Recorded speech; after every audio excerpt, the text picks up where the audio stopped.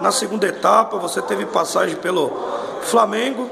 Eu fui na final lá da Copa São Paulo, que vocês ganharam em cima do Bahia. Tô correto ou tô errado? É. Você veio pro São Paulo, não teve uma passagem meio apagada porque você se machucou, se contundiu, né?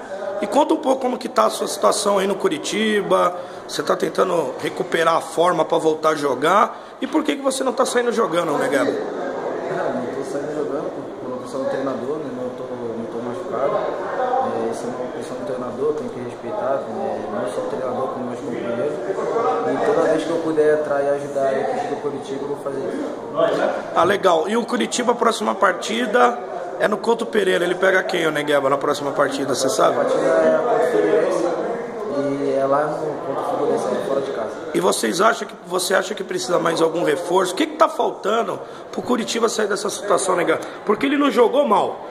Ele teve algumas oportunidades. São Paulo, quando estava 2 a 1 um, ainda teve duas oportunidades. Teve uma ali que tem dúvida, que é lançamento que você fez para o Marco Aurélio. Estava na mesma linha, poderia ter dado o segundo gol e dava uma engrossada na partida. Você acha que o Curitiba, na competição, almeja coisinha melhor e vai sair dessa zona incômoda de, de zona de, de rebaixamento, né, Gaba? Eu acho que ele tem tudo para sair sim da zona de rebaixamento. É, foi muito difícil encurralar o São Paulo dentro do Morumbi, nós conseguimos fazer isso. Não só nesse jogo, mas contra o Atlético também. O Atlético Mineiro também conseguimos fazer um bom jogo fora de casa, mas o resultado não veio. Agora é botar a cabeça no lugar e tem o próximo jogo contra o Figueiredo. Falou, Negueba, obrigado aí, boa sorte aí na sequência da carreira, valeu? Valeu, um abraço.